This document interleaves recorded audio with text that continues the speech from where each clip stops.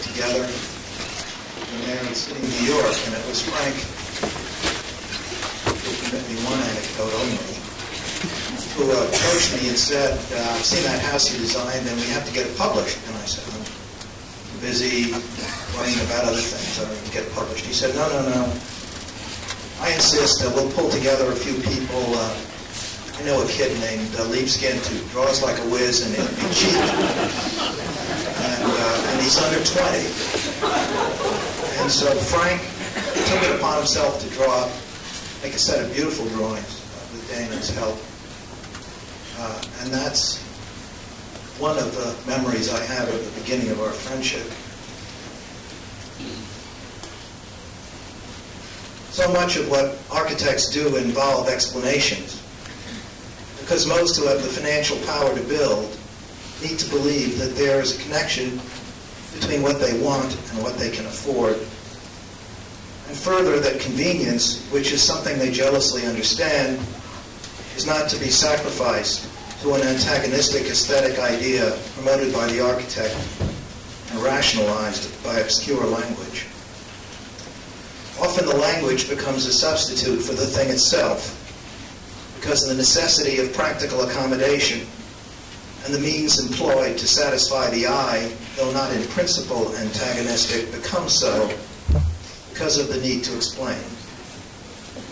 In the process, what is to be built is judged in terms of the language used to examine issues of practical necessity and critical procedures to evaluate aesthetic intentions are either thereby compromised or become so detached from issues of use as to constitute a separate intellectual practice altogether. Practice which, in the extreme, begins to shape aesthetic choices themselves, producing architecture without institutional memory or a location in place or time. What is gained in radical force is lost in breadth of communication, calling into question the social basis of architecture and consigning its products to a narrow market niche where like believers, armed for the truth, operate at the margins.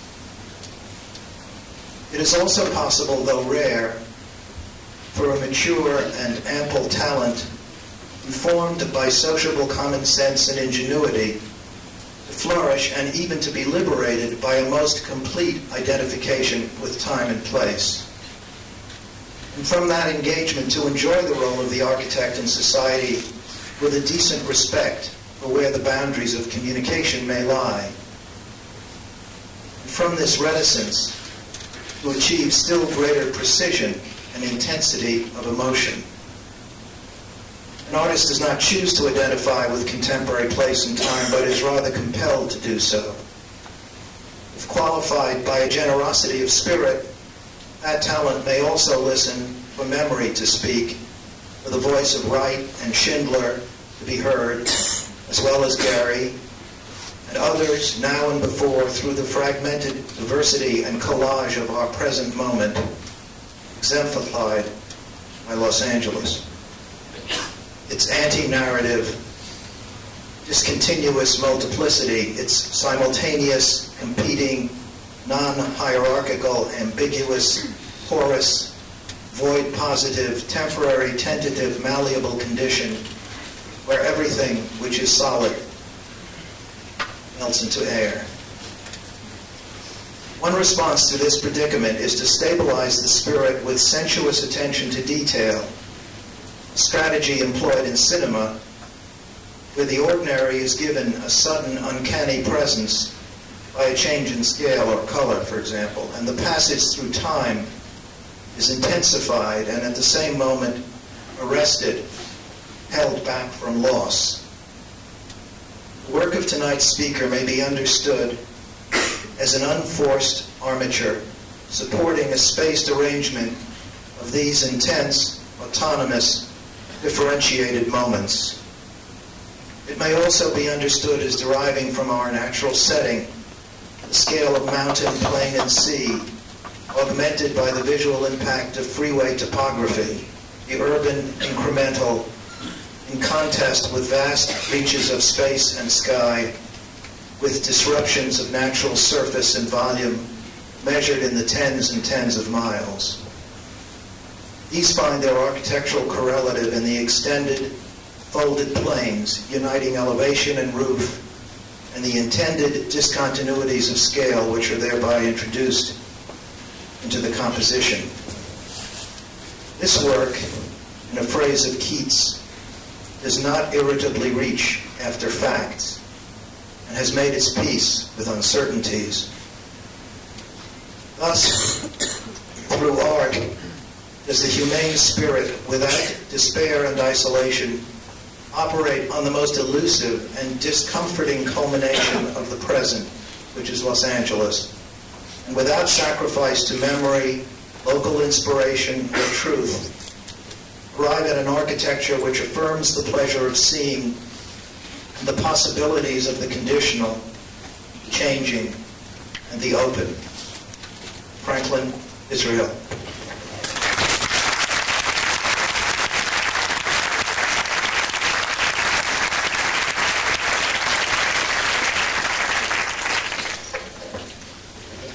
Richard for the introduction.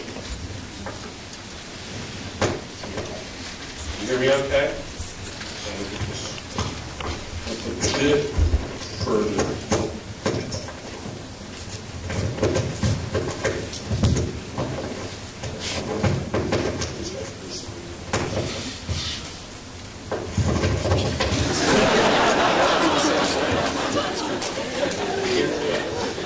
I prefer the ones that pin on, you know, I mean, they clip on. Okay. Can you hear me okay now? Just want you to hear me. Yeah, there's a sound problem. Can we get the lights? Okay, I wanted to give a talk that was uh, a little different from most talks to hearing.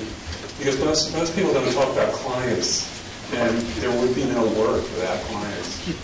And most architects hate their clients. you know, I get through through uh, periods where I hate them and then I love them and hate them. And uh, clients are the ones who pay for the projects, and without them, there wouldn't be any architecture. So they've actually been given a raw deal, in my opinion. And they actually create a, a sort of film noir type of reality which is what this lecture is going to try to communicate to you. Uh, one of the great clients, this guy, he was Pope of Rome, and he didn't actually, he wasn't responsible for Michelangelo's dome, but he was responsible for its completion. And uh, that dome is now in exhibition in Washington the National Gallery, the Renaissance show, which we're all missing. But he was actually more responsible for doing a total redesign of the city, the street patterns of Rome, this great Piazza del Popolo, which I used to go and drink coffee at when I was at the American Academy of Rome. But he was a, he was a great client, and he's a client who was extremely supportive the artists, the many artists who uh, came to work with him. So he was a kind of inspiration in some ways um, for this guy who was one of my first clients when I came to Los Angeles. Now, the way I met this guy, this is Frederick Wiseman, he recently passed away, was by meeting this guy in a photo booth at San Francisco International Airport. we, we immediately became friends. We were on our way to the party that Mark Mack had for his magazine, Western Edition, and we just happened to meet at the airport, and we decided to um, to canonize the meeting in a photo booth. Well, Frank here introduced me to Fred because Fred had hired Frank to do this building, which was the Mid-Atlantic Toyota headquarters in Glen Burnie, Maryland. Now, I don't know whether you know much about Fred Wiseman. He's a very interesting man. Um, he started off living in Minneapolis, where his father was a pretty prominent entrepreneur, sorts. And then he moved to Los Angeles, and he worked at MGM as a sound engineer. And then he bought a food company, Vita Products it was called. And then after that, he expanded and he became the director of Hunt Foods, which is a very large company. And he invested in a, in a uranium plant that proved to be very successful. and eventually, he bought this company, which runs 120 distributors. They distribute automobiles and trucks, mostly trucks. And the main building was this building in Glen Burnie. And he commissioned Frank because he felt the building was boring and there were offices, office facilities right here. That's, that's offices, the rest of it's. To design the offices, and Frank put these pods out in front of the building here. And then he called him up after the project had been done and said, we're expanding. Well, Frank was very busy, so he gave him some names, and we got the job. we were interviewed, the project actually expanded, became double size the, for storage. But the big issue was where the office is. Frank had no idea it was going to turn into such a large project. Of course, we didn't build. But um, it did become a large project. This is the original, and then this is the addition that we did, and the storage facility is right behind it. Fred was fascinating because the issue here, which was so important to him, was to try to maintain the integrity of the Gehry original. And that's what we attempted to do in our design, and that was the one thing that he was emphatic about at all the meetings we went to. Well, years later, we got to do a building for him. And uh, it's a building that's only a stone's throw from campus, right, on Carolwood Drive, which is Holmby Hills. It's a little uh, kind of private museum. Well, we call it the Logic Pavilion. He had a house where his his major collection of art sat. He has um, the Chiricos and Picassos, pretty, pretty formidable collection. And he had some larger paintings which he couldn't fit in that house. So the program initially started with a gallery space that you see in this section here and it expanded into offices for his, his foundation, which sponsors conferences, and also uh, a guest house for visiting artists, which is at an intermediary level. Well, the building grew out of a conversation, a dialogue that we had. Fred had just come back from uh, Japan. He was exhibiting his, his um, graphic collection, graphic designs uh, all over the country. And um, he had visited the Katsura Palace and he said, I want one of those.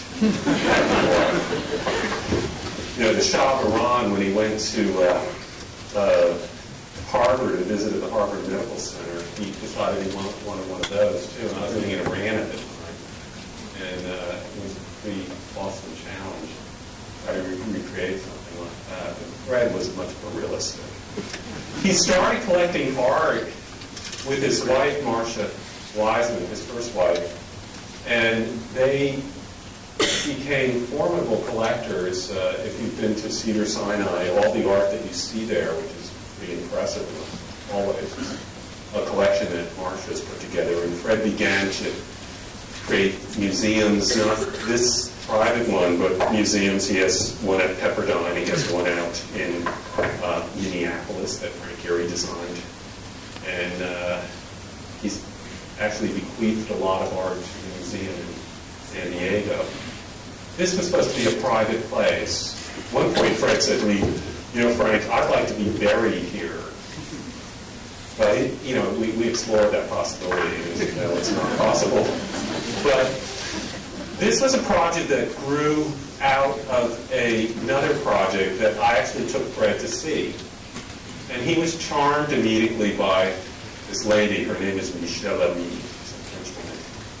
And she had hired us to do a little pavilion. She bought this house in Hancock Park near her daughter's school. And she hated the house. That's the, this clapboard house that you see here. And she wanted something that was more reminiscent of a studio. One day she called me and she said, I know exactly what I want. I want an apartment, an, apart, a Parisian apartment, the kind that you see those two-story things on, on the boulevard Saint-Germain. And as a result, we created this studio. Uh, this is the front of the building. Uh, her husband was an artist. You know, I talked about this before. He did weird things like buried himself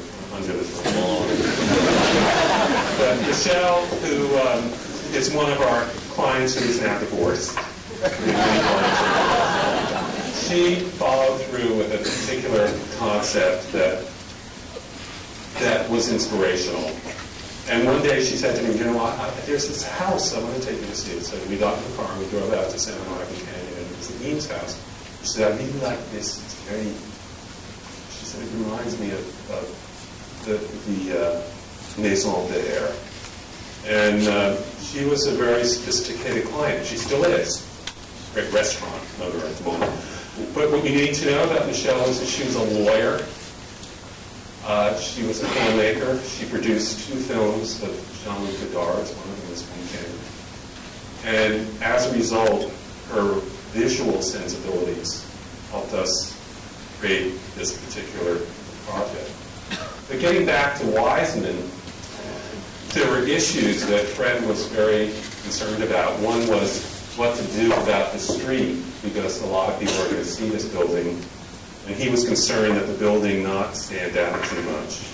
So we to put this, this roof on it. Wow, it was my first and only tennis roof. I hope I don't ever have to do another one.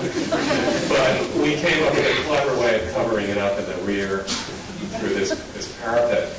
Um, the other issue was the site. The site, as you, if you remember from the section, steps down very dramatically. The street level is up here, and it drops down into this ravine. And Fred felt it was important to do a building that celebrated the site and use that So the building has a two-sided sense to it, one which is somewhat public, which deals with colors and materials that are particular to this, to this area. Fred didn't want to offend his neighbors. And then another side, which is the garden side, which is much more dramatic. This shows the uh, balcony, which was kind of a folly. I was standing on the site with him and his, his future wife, Billy, one day, and they were looking out, and they said, wouldn't it be exciting to um, think about this as a great arc, as a kind of art barn or arc, and be able to lower people down, up and down into the garden. So we created this boat, which doesn't lower up and down into the garden. It's too hard to do, but it does have that symbolic meaning or reference of sorts. The inside of the gallery is a large barn with recessed lighting and, and Fred was very insistent that we not use skylights. Well, actually, it was more Billy, because she used to work at the museum Uh, and she was insistent that skylights always leaked.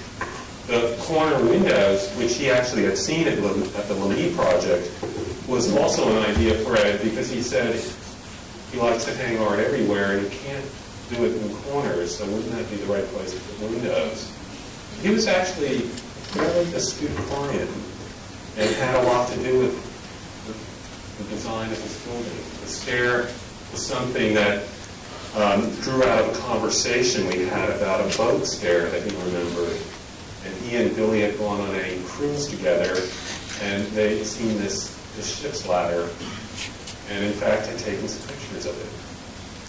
So we sort of took that as a point of view. It felt the stair more like a toe. It sort of feels like someone's winging their toe and stepping down. Okay, we finished that project, I got a phone call from these two guys. That's Jim and Howard, Jim Bean and Howard Goldberg. And they had hired an architect who, in the true tradition of architecture, had gone bankrupt. and because he had gone bankrupt, he couldn't finish the working drawings and they had to start over again. Now they owned this, this little bungalow, you see it here, up in the Hollywood Hills. And they wanted to add on And they had hired this gentleman to add on to it, and they were at the point where they thought the project was going ahead and then it stopped. So we had the opportunity to revitalize it. And the input of their involvement really had much to do with the stylistics of the building, but also, in some ways, the functional, functional aspects of it, too. Uh, Howard was someone who liked homey, comfortable spaces, and Jim was into very severe modern architecture and very slick uh, and sleek design. So the question was, well, how do you reconcile these, these two gentlemen who are living together and, of course, care about each other very much, but have very different tastes in life? So what we developed was a strategy, and it had to do with designing a wall which links various public aspects of the project, the living room, the entrance gallery, the stair which goes up to Howard's study above, and then a shower, which is also in that house, a fairly public place, which is off today.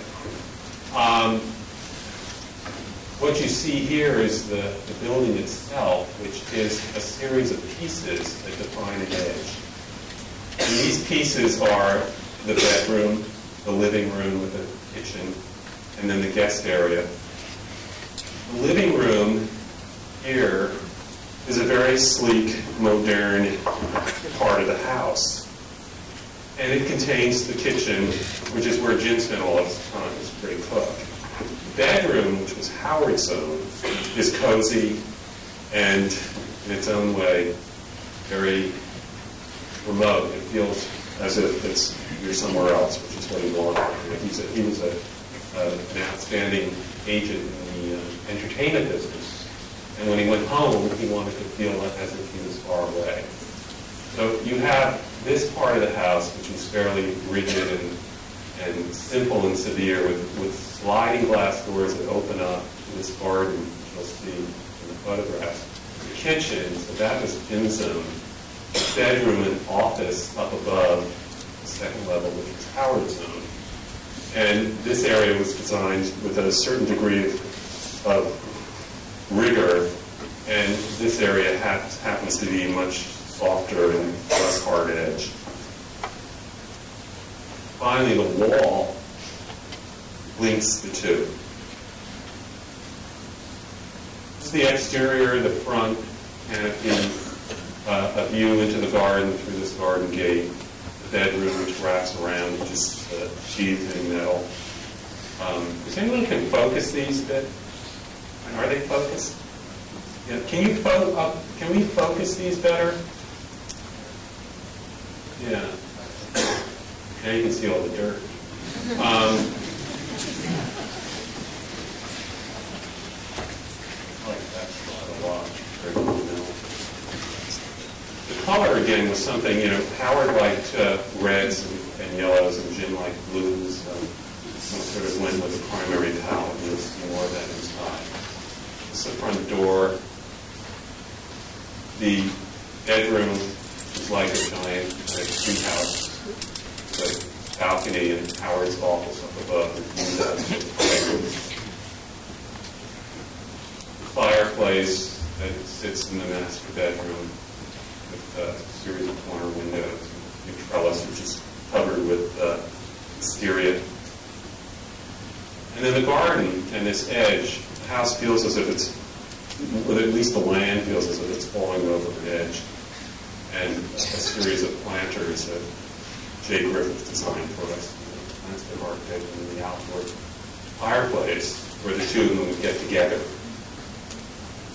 in their various zones Inside, the entry sequence starts through this wall, which is pigmented plaster, blue, pulls you in, concrete floor, into the living room. Living room is, in fact, engaged in this surface which mediates between the kitchen and breakfast area and the living space. The wall follows itself through and carries you into the bedroom. There are sliding doors on either side. They open up, so the bedroom really becomes part of the gallery space. the stair which takes you up into Howard's domain. You wanted a private place in which you could see Hollywood, far away from it.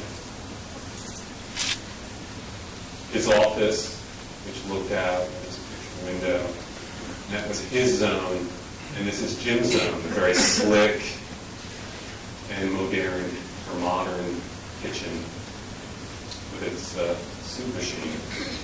Everyone has that one. Well, one day we were finishing this project, and these two guys, or this girl guy, came down the street, and they had been watching the progress of the house, and they said, you know, we live right down the street, and we really think what you're doing is fairly neat. They said, you know, we met on a street corner in Soho, in New York. This is Marla and Wesley Strick, and uh, they lived in a loft, and they in New York City. Actually, they corrected me the other day. They said we lived in a sleazy apartment in the East Village, and then we moved into a loft. well, they owned this house, which was about half a block below the old graffiti house. And it was a house that had been built by Dick Taney. He's a, you know, he's exercise Tanny. And they wanted to build a third floor, which would be a loft space for them. They lived there with their two kids. And Wesley had just made it big. He had just written Batman Returns. Big hit. You know, Marla just opened a store out in Ventura Boulevard. She sells old furniture. And they wanted a space that would be a bedroom, living room, bathroom, place to watch TV with the kids, and actually one space. So that's what we did. We designed a space which starts sequentially from a door which pivots open along its radius, pulls you in into this bedroom living room, and finally ends at that door which leads to a terrace which looks out at a spectacular view of the city. This shows the, the sort of interactive aspect of the space, the shower, the jacuzzi pool you see here, the uh, double sinks, uh, the mirror, and then the television, which we look at in the bedrooms, is behind the sinks. This jacuzzi with a sliding glass window that slides down, so in fact opens up terrace in the view of the city. Well, I've had other clients who are not necessarily uh, involved with residential work. Uh, these three guys are film producers. Actually, he's a director. And what was unique about their project was a studio called Tisch Avnet Films. This is Steve Tisch, that's Jon Avnet, and that's Jordan Kerner. Was that they were all in the throes of having problems with their wives unique in Hollywood, especially him. And they wanted to design an office that they felt they could go to and be in their own world, away from home. So that was the beginning. But there were certain problems because they're not going to work there by themselves. They're working there with about 100 people. And um, those people had needs too. So what we did was we, we basically dealt with the project two levels. One which was was a series of offices, three offices for these three guys, all of whom collect art, all of whom, or each of whom has very different tastes from the others. And then the collective zone, which is the zone where the people who work there cohabitate and get together. The project is in a building in Culver City. It's one of the oldest buildings in Culver City. Uh, no redeeming features. Um, of course, I got the job because I told them it, it, it, it could be, you know, it was redeemable. um, there's an entrance which is three stories high, see here. The main level is on this, this uh, second level here. And there's a collective space on that main level, the second level, which is, a, which is formed by this arc. And then there's a conference room, which is a, also a, a two-story high, would imagine almost three-story high. The entrance you see here fairly dramatic. Uh, leads you up and you go up an elevator actually behind the yellow wall, and then you're in this area where you sit, there's a glass floor, and then you come into the, oops, sorry, let me go backwards. You come into this collective area, which is where the office has its meetings. They uh, assemble everyone in that space. It was a very important part of the project. They- believe in dialogue. And then they decide what they're going to do. They decide it anyway. Um, one of the things that, that John wanted more than anything was a conference room that no one would ever forget. So we designed this conference room with these walls that actually pinch together. I wanted them to move, but that was very expensive. I thought that, no, you know, they should be able to control whether or not you get to see the sky. If the meeting's going well.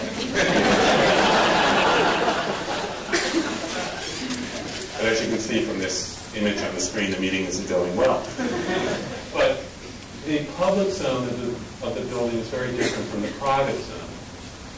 These two slides show Steve's office. Now, Steve's a very sophisticated um, man. He uh, collects art with uh, passion, and he wanted his his space to. In fact, he said, "I want it to feel like like Germany during the war." so we kind of projected his shadows and colored the space in a combination of orange, green, these lights that hang and feel somewhat nostalgic. And this doorway is a double door. This is the outside going in, and this is the inside going out. It's a two- 2,500 pieces of stacked glass inspired by Mitchell. This is the plate. And then we had two other spaces to deal with. Now, Steve is very sophisticated. He collects art. You know, he goes to New York. Goes to swap meets. You he's not a Tisch, so. And he likes very, um, he likes arts and crafts, as you can see from this the colors. And Jon actually has an incredible collection of Henry Moore. He has a, and he also has a, wonderful, uh, um, there's a series of mobiles through there, hanging in that space. And the colors really grew out of a dialogue we had with each one of these gentlemen. Um, the curving couch, Gordon was a little concerned that he wouldn't be able to be particularly seductive on that couch. But we kind of pulled this out later on and it became deeper. And Jon wanted leather because he felt that it was more mature. So it's an interesting project, and it's a project that actually still works very well. I just have to do stuff, lots of stuff. You know, Steve just was nominated for an Oscar for Forrest Gump. Jon directed the second movie, I think it's called War, with Kevin Costner recently. And they're doing interesting work. They have, they have a lot of integrity to do. You know, he's this guy. He almost became our mayor. And he actually works in Westwood, and that's his wife. That's Mike Woo and Susan Fong. And they're standing on a piece of turf in this idyllic setting, which we would wish was their backyard. But their backyard feels like Phoenix. It's just desolate. They haven't built a barn yet. But they have this house, and the house is in Silver Lake. And it was one of those houses that didn't have a view of the lake. And they wanted a view of the lake, and they wanted a new bedroom, and they wanted a few guest bedrooms. So what we did was we assembled the project, which is in a series of parts. There's three parts. There's an entrance with a trellis piece that sits over the garage. And there's the existing house, which became a place for Michael's books. He has a lot of books, like everywhere, and a lot art. You know, they stack their paintings up against the wall. And finally, a bedroom with a view out towards Silver Lake because Susan felt frustrated. She said, we're living right near the lake and we didn't even see it. So we came up with a solution to build this pavilion in the back. Now, the pavilion uh, is a piece that's very different from building in the front, which is essentially, or was essentially, a rectilinear bungalow. Uh, I can't say that Mike had, or Susan had a lot to do with the physical manifestation of this project, even though their clients, they paid for it. They came to us and they said they wanted something that was uniquely Californian. They wanted something that perpetuated the tradition of California modernism. Well, that's, that's a real challenge. So in fact, it had a lot to do with the manifestation of what happened. There's an entry here, a kind of diagonal that pulls you through, and then finally it actually cots around a stair. The building, the pavilion, this new addition is actually uh, shaped kind of like an S. Brings you up the stair to the second level, and a sleeping loft which looks out towards the hills, and then twists around and brings you into the master bedroom with its great view of the Silver Lake. We think we achieved what Mike and Susan wanted. This shows a sequence of entrance, the stair up, the trellis entrance piece. This is a place where they sit outside and eat because the kitchen is here and it spills out onto a roof terrace here. Then the stair sequences up through, uh, out towards a sleeping loft and then finally down into the uh, master bedroom. There are two bedrooms below. This shows building. This is the first project that we started dealing with a series of folded planes, and I wasn't really aware that we were doing that until Dagmar Richter came to the office a year ago and said, oh, you're doing folded planes. And Annie, said, oh, yeah, we're doing folded planes. you know, I, I, you know, the work that I'm showing, and, and even though this is a lecture about clients, you know, the, the next lecture is going to be about my, my office and the people who work there, because uh, Barbara Callas and Annie Chu and Stephen Shortridge, David Spinelli and Michael Litucci and Sarai Grinnell are really our staff and rich workers. And they are incredibly important. Architecture is about collective effort. It's not about one person. It's impossible. It's Like film in that respect. So this became a, a, a, kind of volume that sits floating in this space, which feels like the desert, which is supposed to be filled with plants. They tell me they're going to plant the garden. And this is the piece that pulls actually as a sleeping loft, and it came from a conversation that we had with Mike about the Schindler House. He, he's very sophisticated, and he said, you know, I like that sleeping loft, the Schindler House, but you know, what happens when it rains? So we actually gave him an enclosed sleeping loft. and then this is the giant window that looks out the corner of the glass piece that looks out towards Silver Lake and the jungle.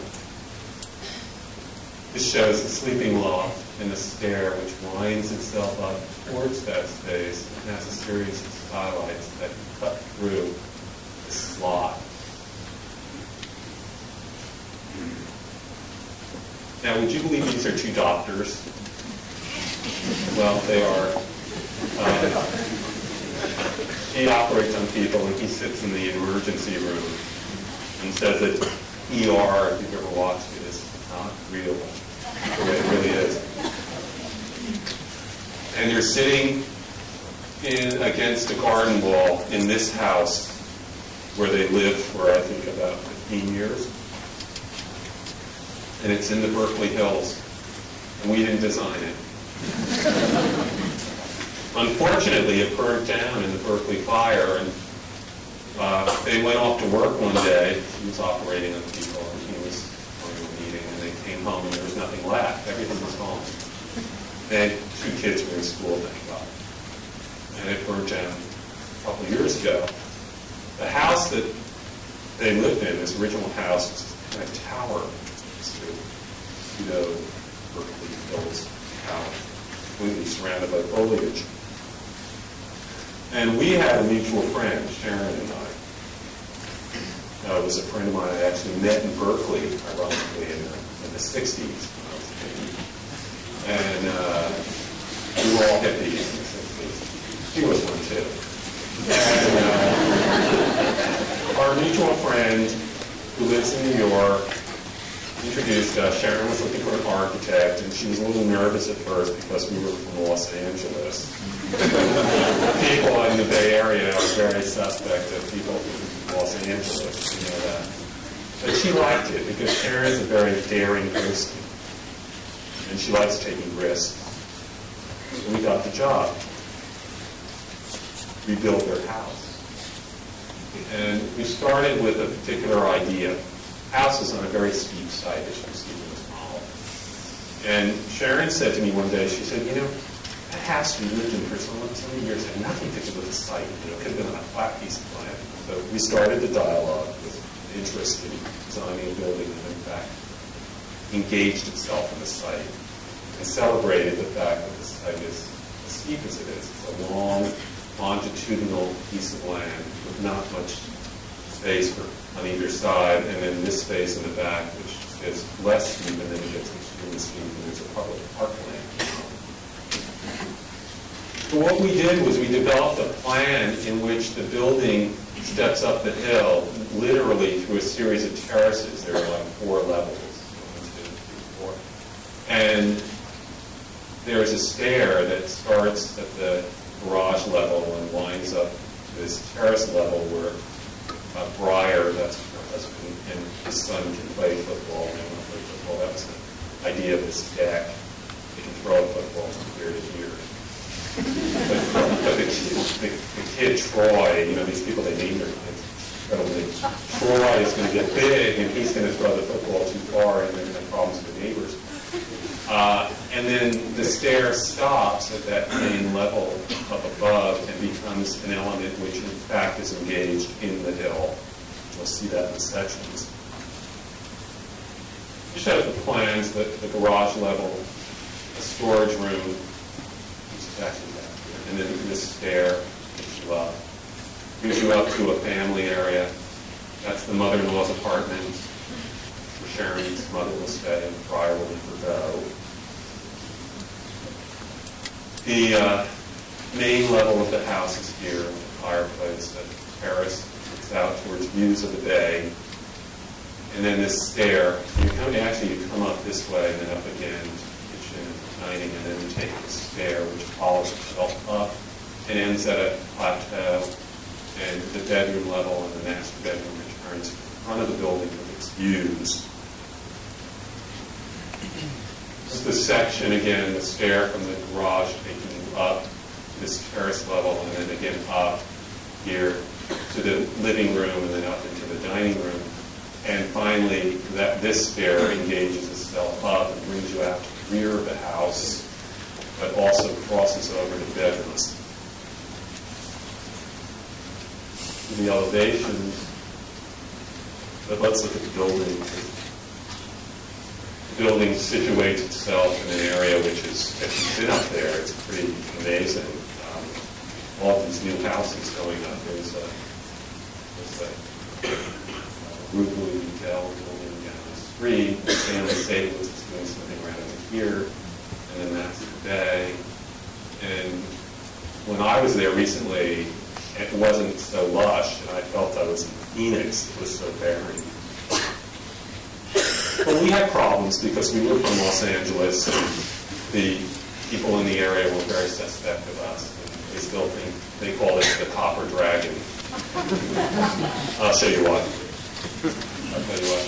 Um, let's see, I want to just go back. Yeah, I want to just talk about the materials.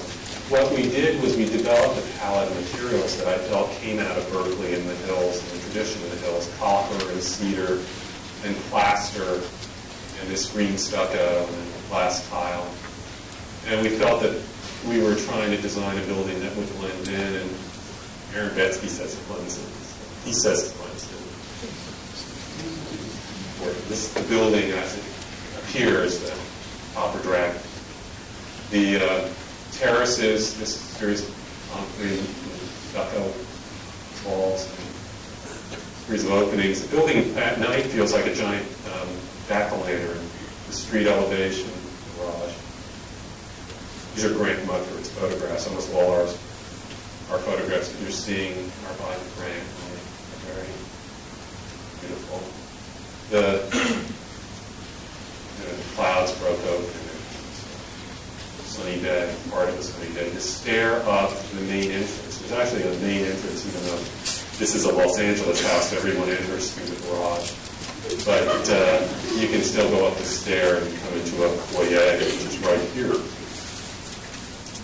The copper, which is aging, it will take 20 years for it to turn green, which we don't want it to turn green, but well, it is.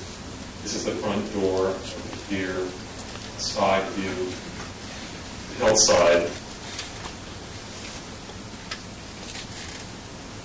The copper shingles. The stucco, which is a kind of greenish gray. It's hard to capture the color of it, but I think Greg did a good job. This is a side view looking out um, away from the city.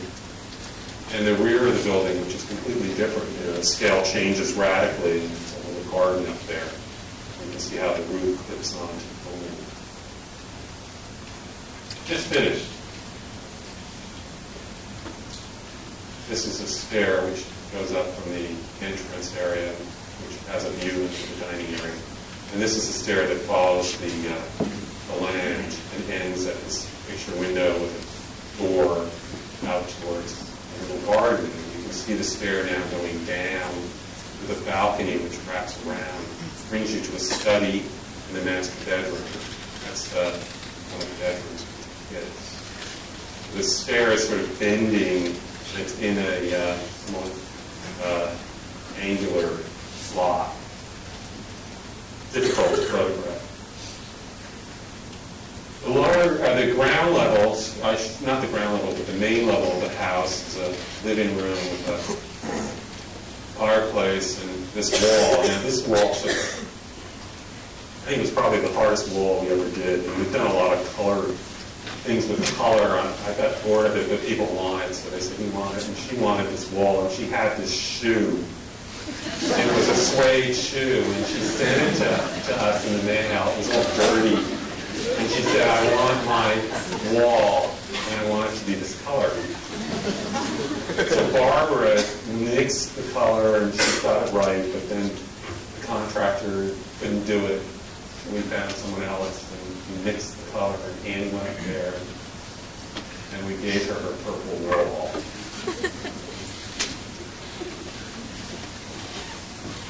This is Sharon's office.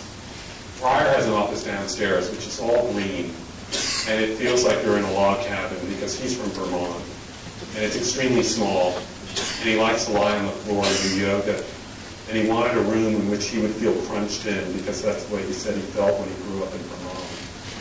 I don't have a picture of that because it's so crunched in you can't photograph it. And of course, she wanted the, the open view which looks down out towards the entrance and below towards the interior entry of the house.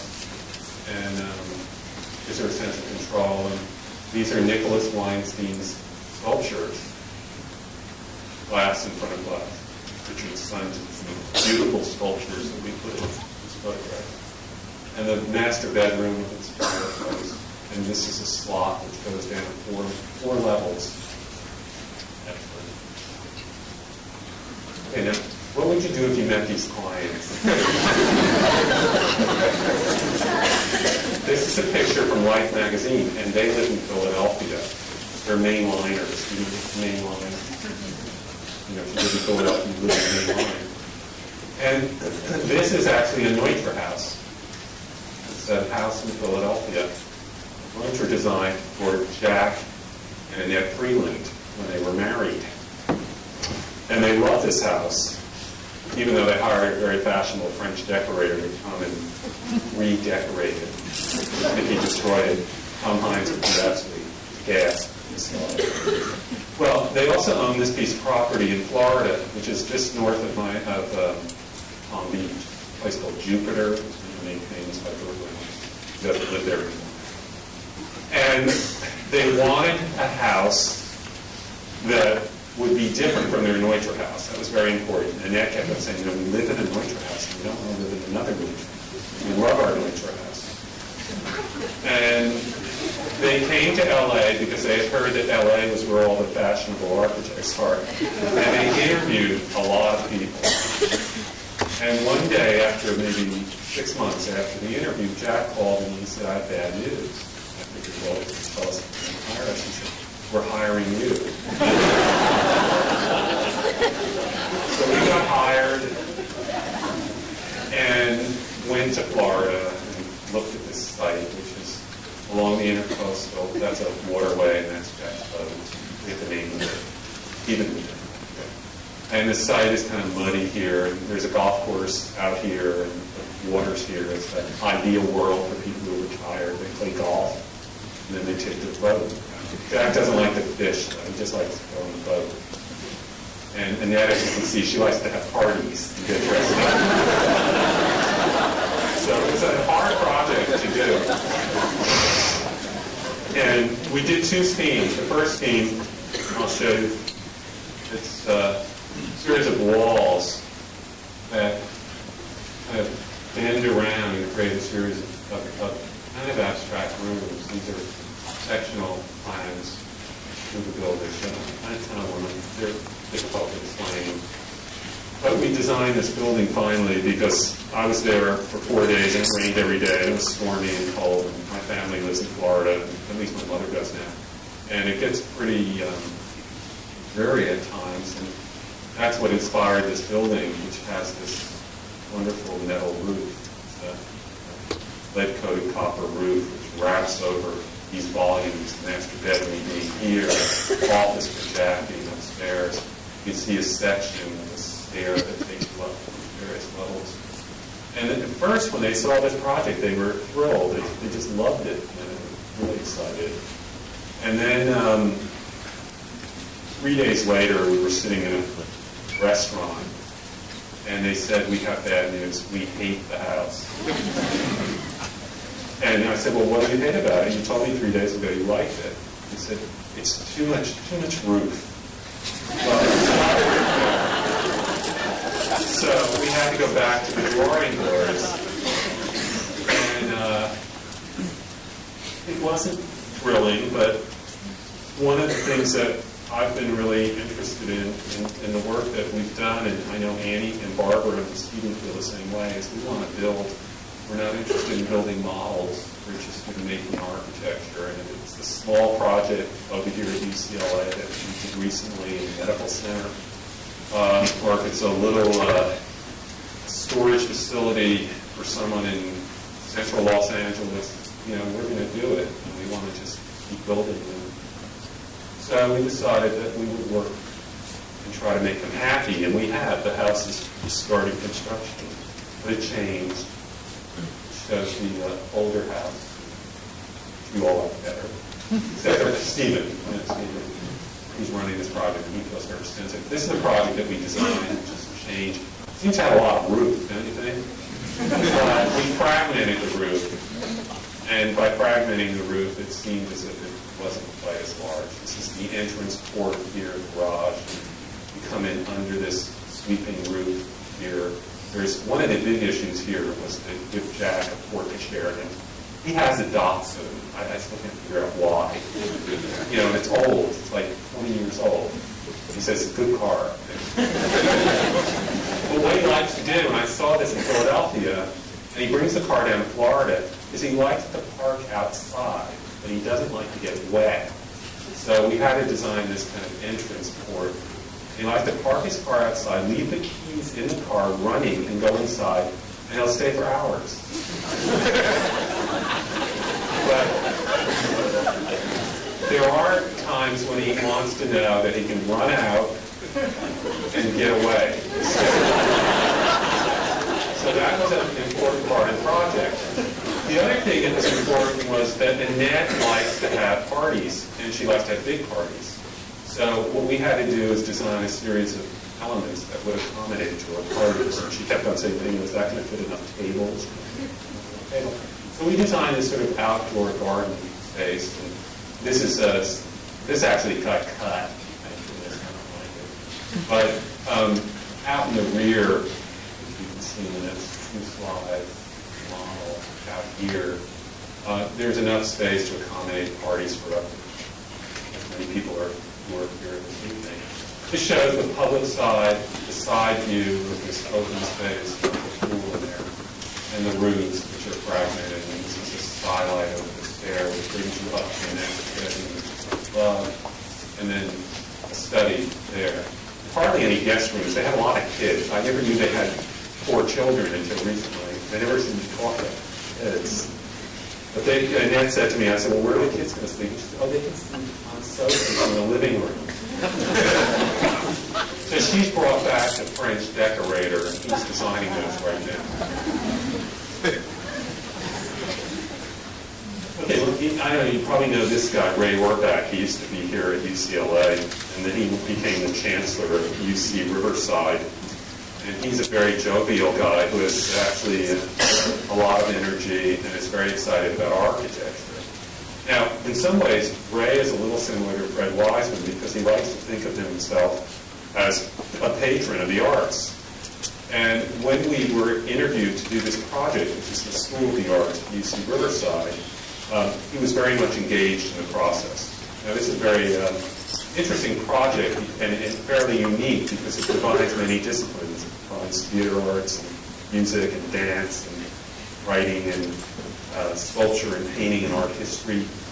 And all of these facilities or, or particular fields were supposed to, or you know, in Ray's idea, you know, Ray's vision was were to be housed under one roof. But he felt it should be a complex group. And of course, we agreed with him. And the, uh, the uh, user groups agreed too. You know, try working with us. Well, they were incredibly delightful people to work with because they wanted an exciting building. And Ray wanted to give them an exciting building, and that's what we're working on doing at the moment. The site here is an entrance, it shows an entrance, this is University Avenue, that takes you into the campus. Our site sits here. There's a walkover that takes you over the freeway to a new housing area of the campus here. And a large physical element, which is an arroyo, which sits on the other side of the University Avenue. It's the arroyo that inspired us when we started thinking about the project. We did a competition, and we beat out Eisenman, even though he said he could be cheaper than us. I have to throw that in. Uh, the site is here, and we showed them a series of schemes, and this is the scheme that actually influenced most of our work. It was a building with a giant roof that became a garden and became something that reflected the arroyo across the way. Arroyo, which is a great dried up riverbed and has a kind of status of a, as a, of a historic landmark in the area. What we tried to do is we tried to create a building which would give the university what it needed, which is a series of theaters other facilities, but also create a focus on the campus, which would give the campus a new identity. Have you ever been there? It's very ugly. it has all these um, Carrera buildings. Not to put Carrera down, but the buildings are really, really ugly. And the client, you know, Ray not as much as the user groups kept on saying, you know, this campus is horrible, you've got to give us something that's going to in fact change and modify the look of UC Riverside and, and really make us feel proud that we're here. Now that's a great client. So we developed a, a process, and I'm not going to show all the schemes. We did maybe five or six different schemes, and they kept on saying we want something more radical. I mean, we like that first image you showed us. Now, you know, very excited about a client who wants you know, do something radical. This shows the arroyo, the entrance into campus with this circle, which we all hate.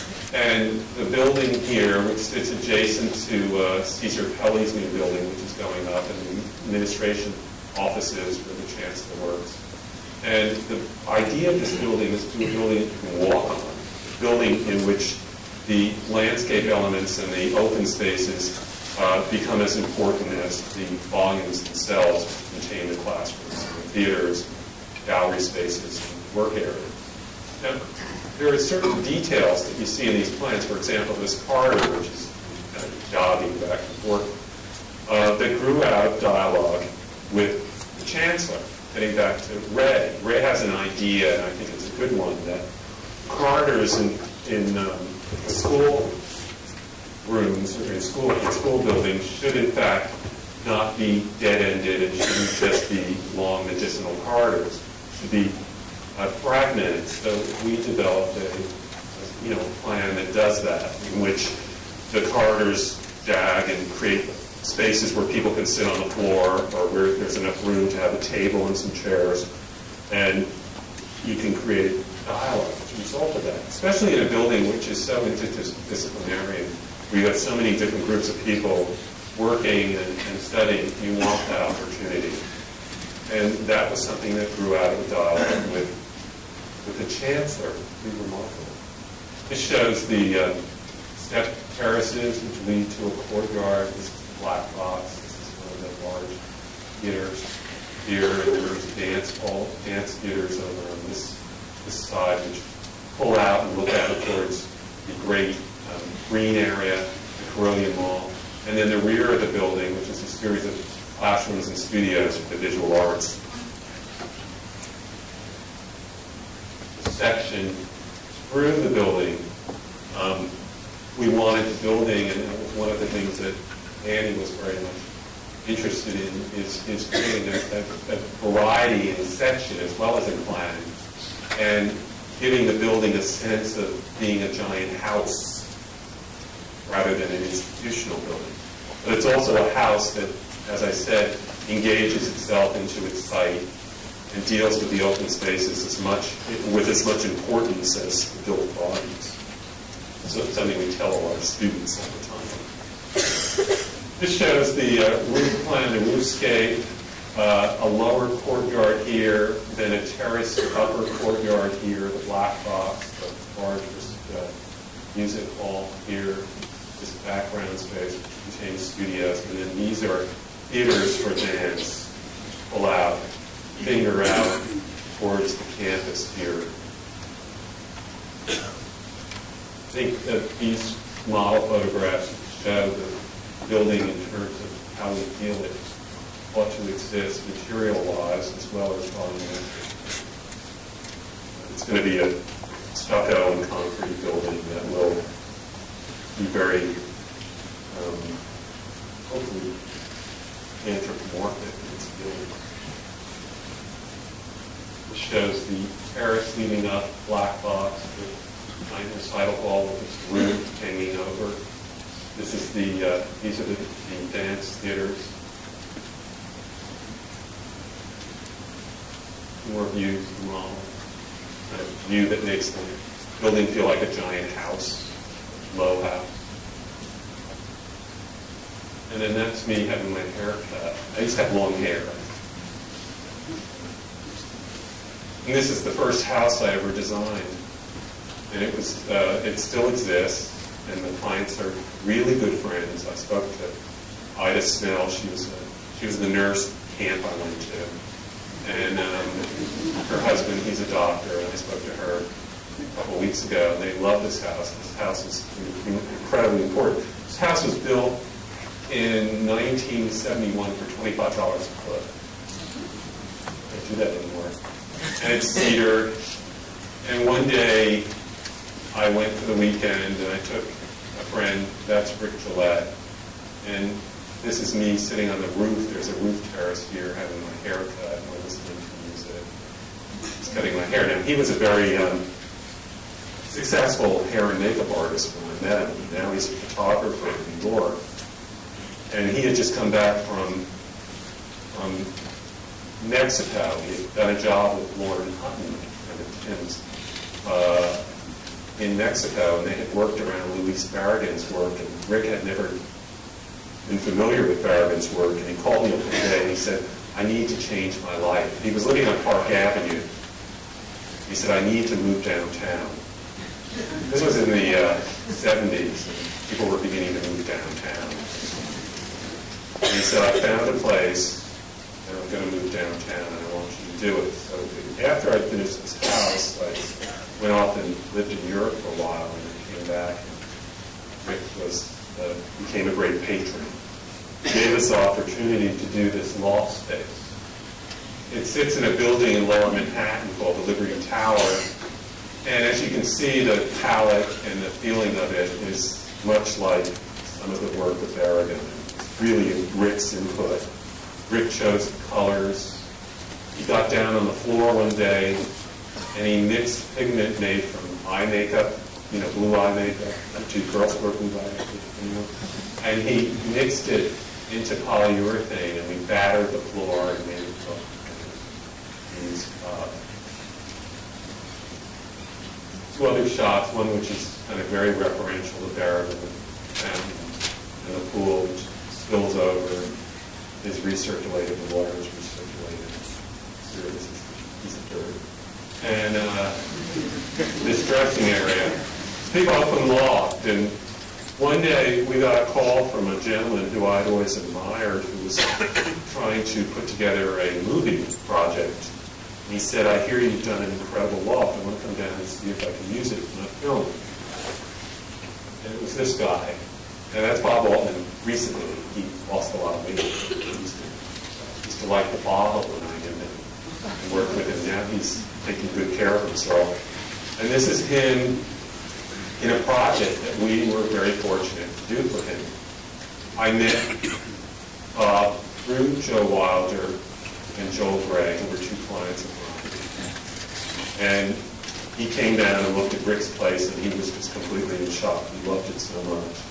And he said to me, you know, my wife and I have just bought this horrible condo in Malibu. We have to sell our house. You know, I'm not making any money on getting screwed by Hollywood screwed by Hollywood. Now he's not screwed by Hollywood anymore. She's very well known. And he said, and we want to do something, I'd like to do a loft. And it was an ugly condominium with no redeeming features.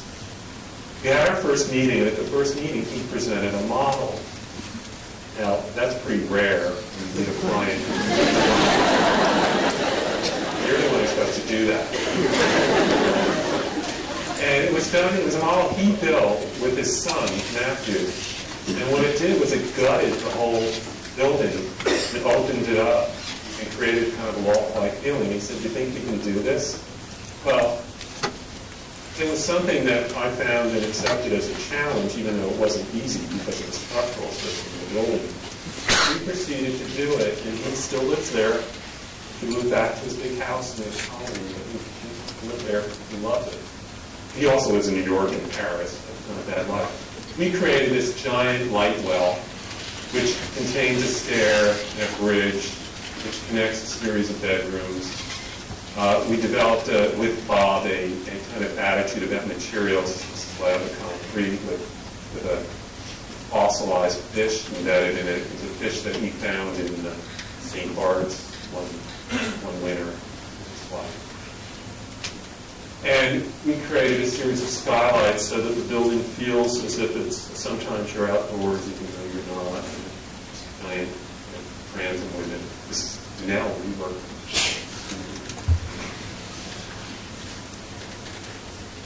And then we created an area for his wife because she does all the cooking and she sits in, in front of this desk and talks on the phone all day and designs furniture and, and um, that opens up to that large space. So the idea here was to make a place which is loft-like and feeling, and in which all the rooms open up to one another finally, and there is a sense of interchange and community which Bob wanted to create, and it's still there, and it's still very much part of their lives, and they like it.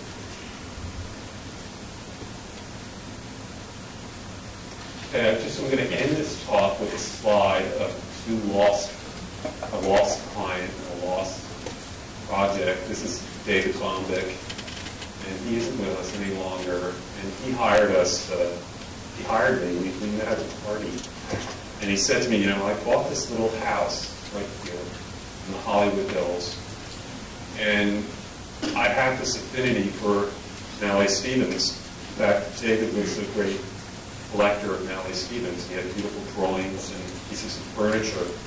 And he even owned an, an apartment in a building that had been designed by Mallet Stevens in Paris. And he said to me, do you think you can do it? And we went through a series of many, many schemes because it was hard for me to do this project. And it was a project that developed through a careful dialogue with uh, David and his, his uh, roommate. And what we tried to do was to design a building which was, in fact, and would have been, in fact, a background for his collection of Mallet Stevens. And he was an awesome client because he had great opinions. And one day he said to me, this was after we designed five schemes, he said to me, you must be a nervous wreck. You know, it must be like the worst client you ever had, you know, sending it back every time. And I said, no, I'm learning from it. And the process in terms of the development of a project, which the client ultimately, in this case, was very evident, felt very happy and felt as if the building could function the way he had imagined it be both in terms of its workability and its style, um, provided us with a lot of satisfaction. And I dedicate this talk to David. Thank you.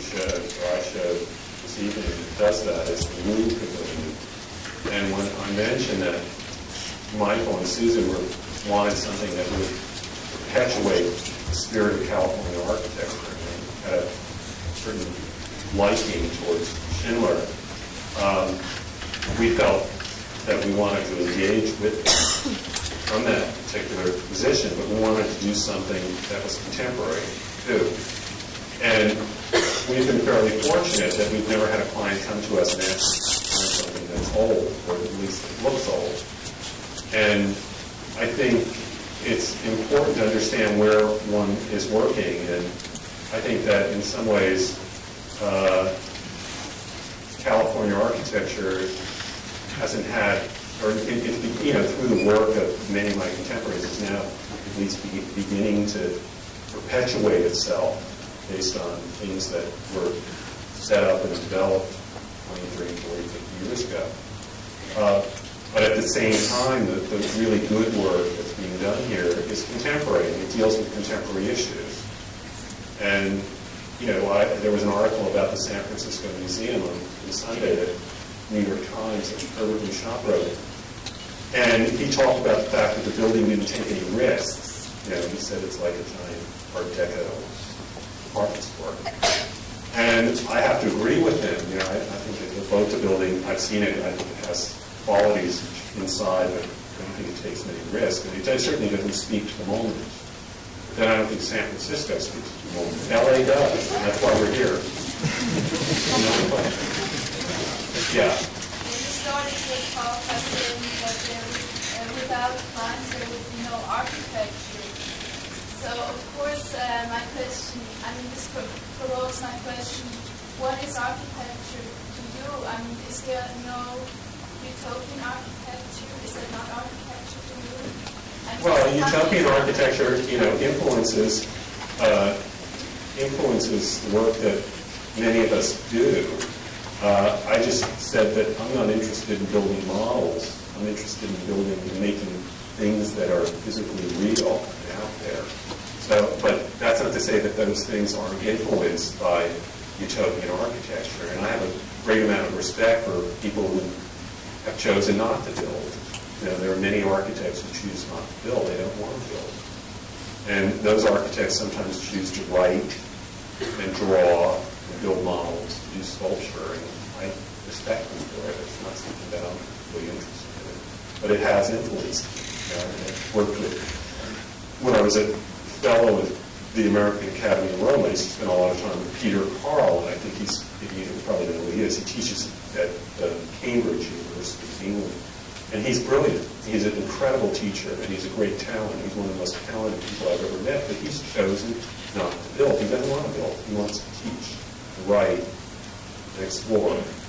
And I learned a lot from my time with Peter Carl. It's had an impact on me.